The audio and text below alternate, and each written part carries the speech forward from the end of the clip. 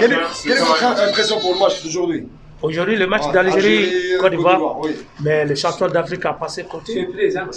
Parti à côté carrément. Ouais. Je n'attendais pas l'Algérie de jouer comme ça. Tu vois, la Côte d'Ivoire a joué avec euh, l'individualité, mais en réalité, l'Algérie, c'est c'est bon. Non, non, ça c'est. Mais il faut se préparer pour la Coupe du Monde. On va là-bas. Allons-y, oui. Ils sont devant. Voulez- Quel étage Quel étage? Deuxième, deuxième, deuxième. Non, les chaussées, les chaussées. Euh, donc, vous vous pensez quoi de, de match de l'Algérie Bon, déjà, bravo aux deux équipes, euh, mais beaucoup plus euh, bravo à la Côte d'Ivoire parce que la Côte d'Ivoire produit un très beau jeu. Et l'Algérie, euh, depuis la première journée, on a constaté beaucoup de suffisance.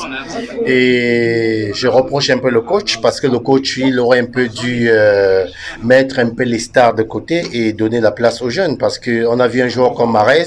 Marez a fait preuve de beaucoup de suffisance.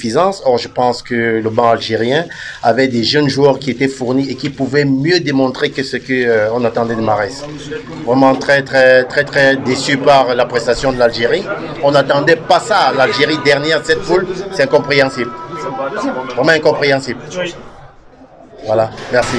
Sinon, bon courage à l'Algérie pour les prochaines échéances. Merci beaucoup.